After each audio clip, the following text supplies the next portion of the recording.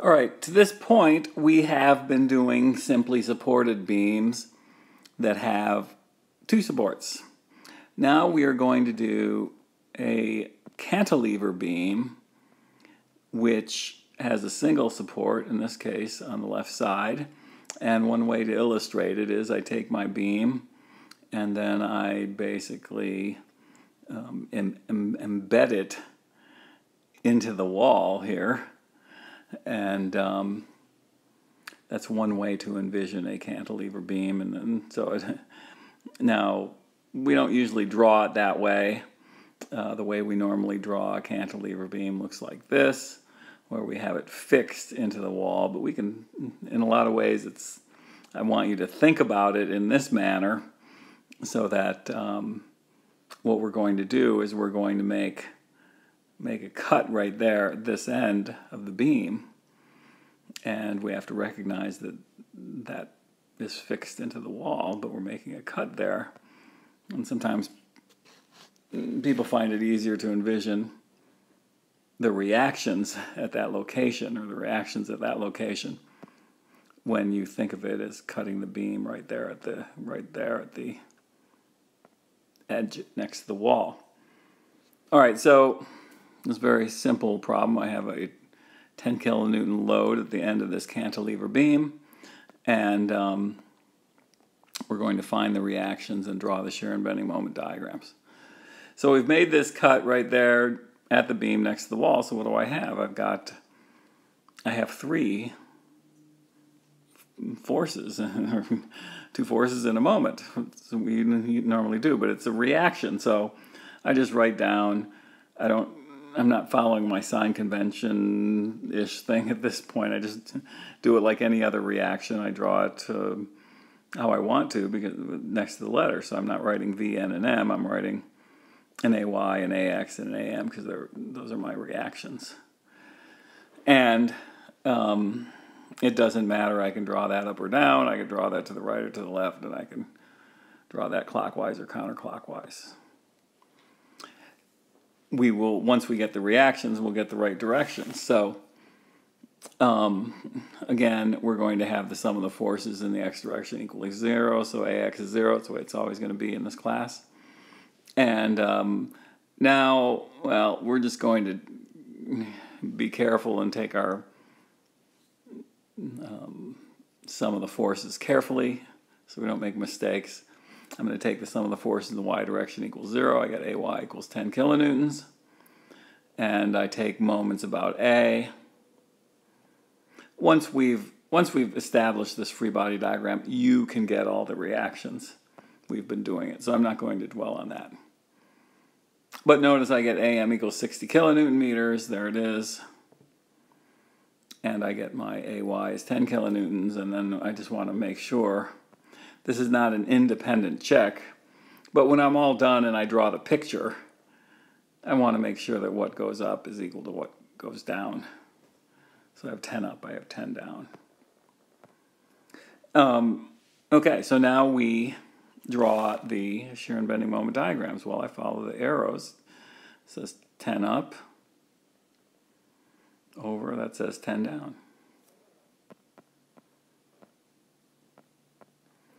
And then now remember, we can't forget that I use the areas, but I have to pay attention to concentrated moments. That's counterclockwise 60, so I go down 60. That's positive 60 kilonewton meters. Go up like that. I know the slope is 10 because the value of the shear is 10. Okay, so uh, again, I have this concentrated moment right at the beginning. I have to not forget about it. I have to start at zero, but then I have to use that concentrated moment. That concentrated moment says go down 60 because it's counterclockwise. Just go down. Now, don't do this. In other words, uh, here's my shear diagram, and then I do my moment diagram, and oh, I forgot that there's a concentrated moment. I just pay attention to the areas that says go up 60. So you go up 60, you end up there, and you go, okay, I'm not at zero, so I'm just going to draw down like that. don't do that. So I'm I'm telling you in advance not to do this. If you do it, you're going to lose a lot of points. So um, just remember, don't just arbitrarily go back to zero on your moment diagram. You, you, if you're not at zero, something has gone wrong. Go back and do it again. The other thing I want to point out here is that you should be able to uh, do this simple problem in your head. And I think it's important to be able to, to do some things in your head so that you have a gut feeling for what's going on. So, in other words, I'm looking at my cantilever. the easiest thing to do is to take moments in your head about this point on the left. And, and when I see that this 10 kilonewtons does what? It causes a clockwise moment here. Well, that means that to counter that, I have to have a counterclockwise moment over here. And the magnitude is easy. It's simply 10 times 6. So I've got my 10 times 6. It's 60 kilonewtons, 60 kilonewton meters, which means that, you know, I need 60 kilonewton meters. Oops. Kilonewton meters over here. So, and then I have to counter the 10, so I need 10 going up there. So for this simple problem, you pretty much can do this in your head to get these two values. So I want you to at least practice that. Um, so again, what do I say? You're taking moments about this point. This is gives me clockwise, so that tells me I need to have counterclockwise over here. So that's how you get the direction. Everybody can get the magnitude. Where people struggle is getting the direction of the moment. And people can get the direction and magnitude of the force. That's easy because that's down. The other one's got to be up. So uh, people can get that. What they mess up on is the direction of that one. Again, the reasoning is that if I take moments about this point, and I'm interested in taking moments about this point because that's where I want to get the moment. that's where I want to get it. So, you know, you can do it in your head. This is this gives me clockwise, so that's got to be clock counterclockwise. All right. Um, I've given you everything here, so why don't you pause the video and do this particular problem based on everything you know at this state. All right, I'm assuming you did it. Well, it's pretty straightforward. Uh, I follow my arrows. I go up 11, over, down 3, over, down 8.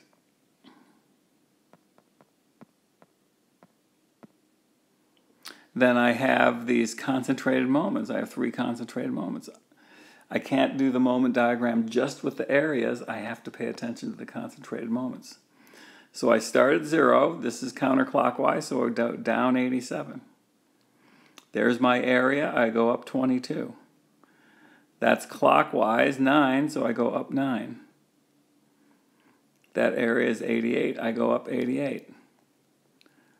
That is counterclockwise, so I drop down 32. So there you can see that it's pretty straightforward. Once I have the free body diagram, the rest of it is pretty straightforward. There's nothing different than what we have been doing all along. Just don't forget about the concentrated moments. Now, how can we get this sort of situation? Well, envision this.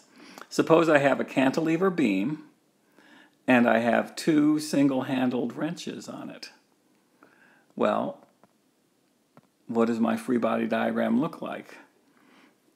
I'm going to replace this single-handled wrench with what? I'm going to have, it's, I've got 3 times 3 is 9, so I get clockwise 9, and I get a downward 3. For this, I've got single-handled wrench again. Which way is that? That goes counterclockwise. So I have a counterclockwise 8 times 4, 32, and then the 8 there. So this is 32, and there's my 8. Then I look at this free body diagram here, again, I put on my AY, my AM, and um, I'm going to find my reactions. I take the sum of the forces in the y direction, and my AY is 11. I take the sum of the moments about point A. You can all do this, and I get AM is 87 kip feet. So I, you know, make sure that what do I do? Every, both of them are positive, so I simply put that 87 there. I put the 11 there. Don't have to change any directions of any arrows because they both came out positive. I get this. 87, 11. End result, this is the same problem. We just did it. So, no, we just did this, and we um, got this shear diagram, and uh, then we got that moment diagram. So, we got this free body diagram from our cantilever beam with two single-handled wrenches on it. So what I will give you, I'll give you this on an exam. You have to create that, but you can all do that. Once you've created that, then you create that and you create that. So you should be capable, you need to be, prepare yourself to be capable of doing this. All right, so now I have another cantilever beam. I want you to do this one. So pause the video and do this. Okay, I'm assuming you paused it. So what do I have here? I've got my, that's 8 times 4 is 32. It's clockwise about the bolt, you can see that. So 32 kip feet clockwise, and I have the 8 kips at the bolt. I have an AYAM there. Oops. So I use this free body diagram to determine that AY is 23. And you can look pause the video and look at that. You get AM is equal to, to 265. So I end up with this free body diagram. And now I follow my rules. My rules are I use the areas and the concentrated moments. So down 15 over, down 8 over, up 23. I get my areas, you can do that. And then I follow the areas, but where I hit the concentrated moments, I have to pay attention. I hit a concentrated moment at 6, and that's 32, so I go upward 32 down to 107, and then I'm here and I go up 265 and I'm back at zero.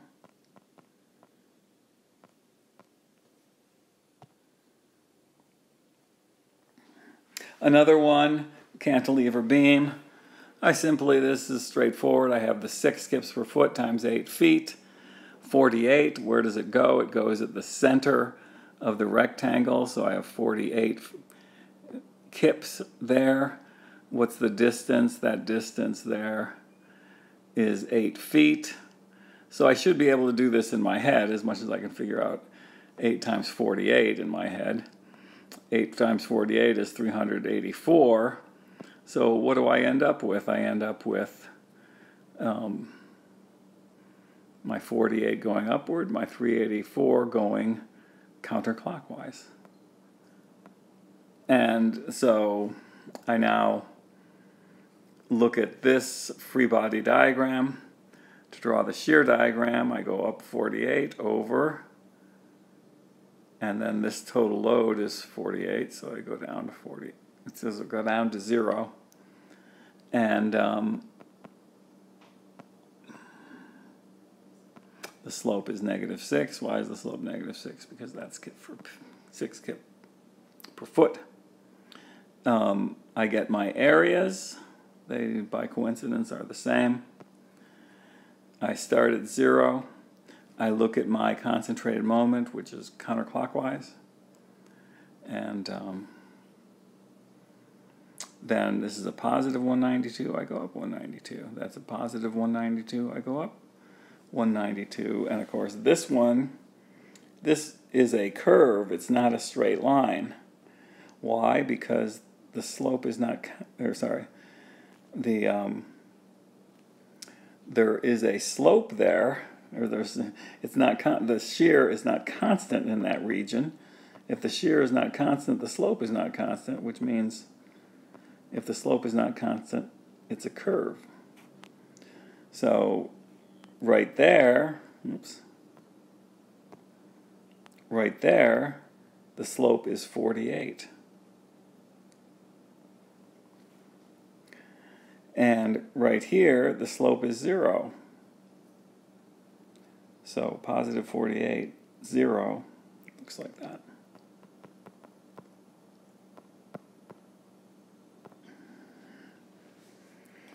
And, um, okay, here's a little sample problem again. You can do it in your head. Um, you can do this in your head. Again, how do I do it? 20 times 5 is 100. It's got to be counterclockwise. There's my 20. Okay, so you should be able to do these simple cantilever problems in your head. All right, I'm going to stop there.